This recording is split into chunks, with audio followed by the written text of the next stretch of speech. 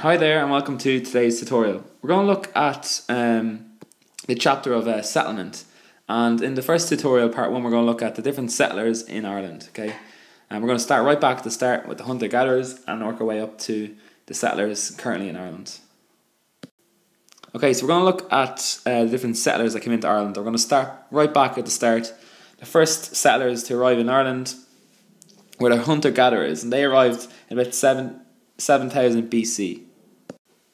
Okay, so these hunter gatherers uh, were the first people to arrive into Ireland, and they travelled across from mainly Britain, and they settled along the east and northeast coast um, of Ireland, and they set up mainly in like river valleys, okay, because they need to be close to the rivers. The next one was the New Stone Age. Um, these people arrived into Ireland around 5000 BC, and these brought in uh, a few new things to Ireland, such as farming. They introduced farming to Ireland. Uh, they travelled to Ireland uh, from Britain, uh, France, and France. And these new Stone Age uh, people had a huge impact on the environment. They, they cleared forests to provide grazing for, for, for animals. And they built places of worship and large stone graves, um, such as megalithic tombs, cairns, and dolmens, which can still be seen in Ireland today. Uh, the most famous dolmen is the Poulnabrone dolmen in, in the Burren, County Clare, and the best known megalithic tomb is in Newgrange. A lot of the people from the New Stone Age settled in the Boyne Valley, so along the River Boyne, and this was because um, back um, back then the river was was a place where everyone set up their their their settlements because it was close uh, to food with fish. They got water from the river. Um, it was a communication route as they as they uh, for transport with boats um, and usually the soil near rivers was more fertile because of the alluvium when rivers would flood um, on the floodplains be left at that alluvium which is really fertile and good for farming.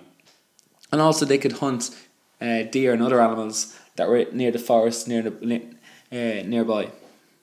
So the next one was the Vikings and they came to Ireland around uh, 800 AD and they settled along mainly along the east coast of Ireland, so around areas such as Dublin, Wexford, and Waterford.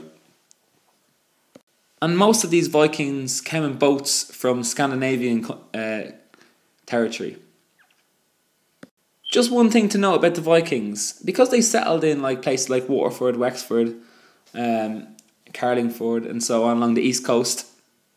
One word that is quite common that still exists today is the word ford. Okay, so Waterford Wexford, and Carlingford and Stratford. Okay, they are all places where Vikings um, settled down, and the word ford comes from the Scandinavian word fjord. The next one was the Normans, and the Normans invaded Ireland, arrived Ireland in like the 12th century.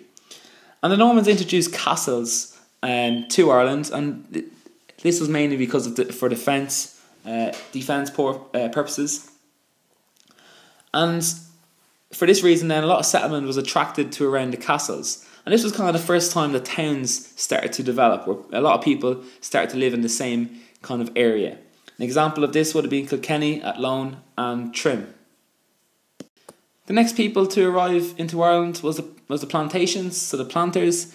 So the English and um, the British people arrived from uh, from Britain and planted themselves in parts of Ireland. The most famous ones probably is the is Ulster plantations, and this happened in the 16th and 17th century.